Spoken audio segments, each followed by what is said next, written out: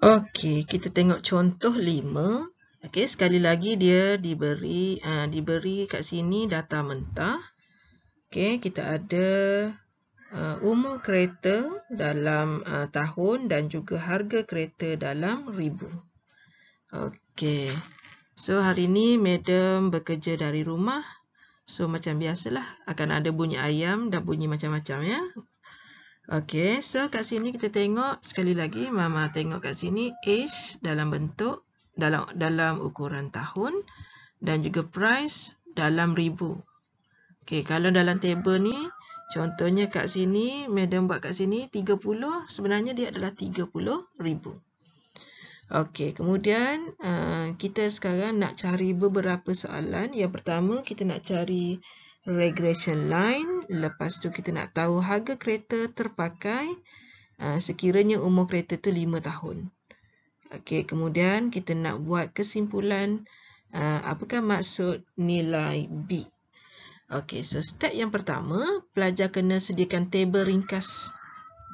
Okey, table ringkas ni, okey, pelajar kena pastikan dia hanya buat yang ringkas saja semasa awak buat table ni pastikan awak masuk dulu nilai-nilai ni dalam kalkulator supaya kita boleh dapat nilai perjumlahan yang bawah ni.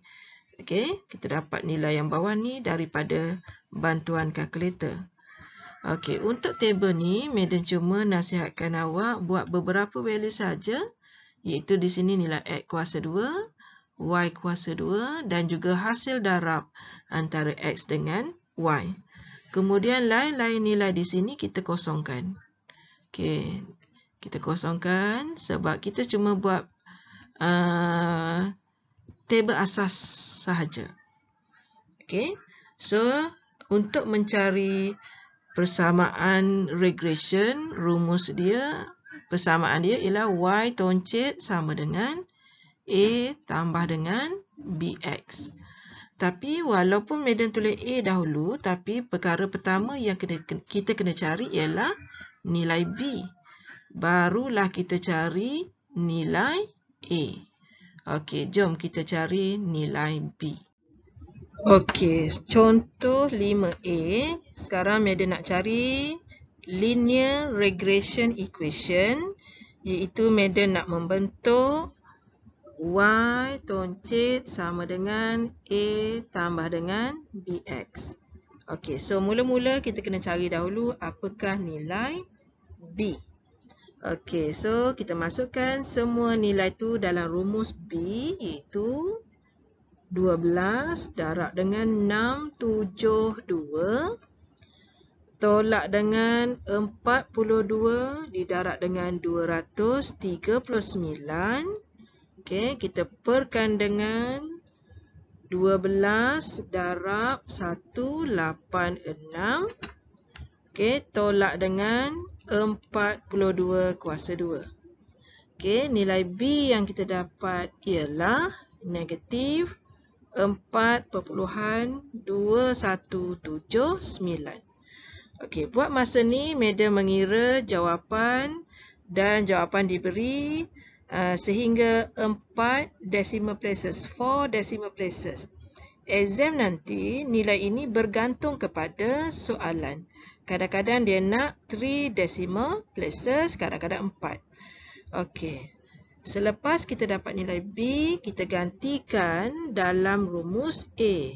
Iaitu A bersamaan dengan 239 per dengan N kita 12 tolak 4 tolak dengan negatif jadi tambah.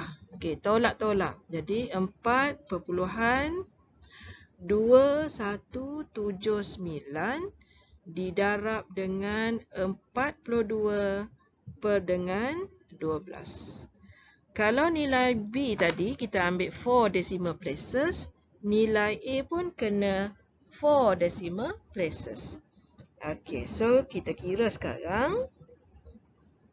Okey, 239 per. Okey, ataupun 42 bahagi dengan 12. Darab dengan 4.2179. tambah 239 per 12. So, jawapan kita ialah 3 perpuluhan, eh sorry, 34 perpuluhan 6, 7, 9, 3. Okey, jadi dia nak tadi linear regression equation. Jadi jawapan kita ialah y toncit sama dengan 34 perpuluhan 6793 tolak 4.2179 X. Nah, itulah dia linear regression equation. Okey, untuk soalan B, soalan tanya tentang harga. Okey, bila ditanya tentang harga, maksudnya dia tanya tentang Y Kemudian dia bagi nilai X sama dengan 5. Jadi tadi kita ada Y toncik tadi sama dengan 34.6793 tolak 4.2179 dan X kita ganti dengan 5. Okey, kita tengok berapakah nilai Y. Okey, kita ganti.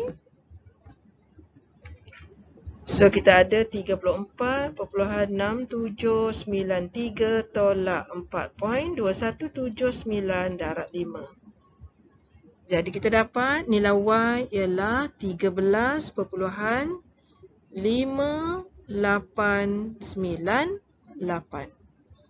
Okey, 13.5898. Dan cuba awak tengok semula nilai Y adalah dalam ribu.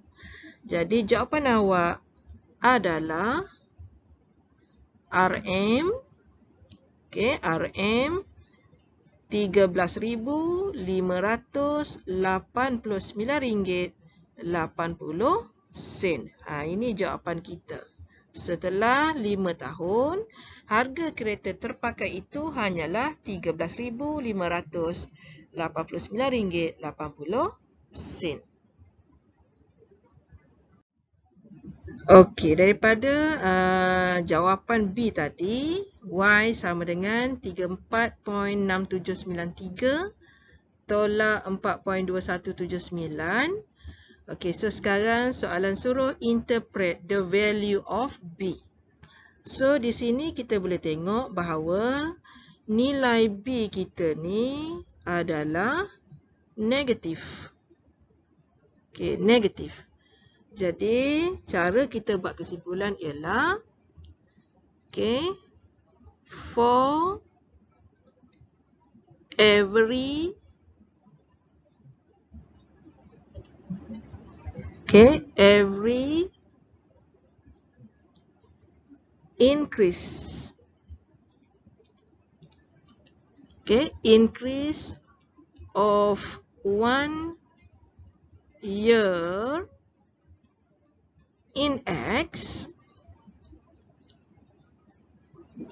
there is a decrease of rm 4,270 ringgit and 90 sen units in Y. Ha, itu cara kita buat kesimpulan.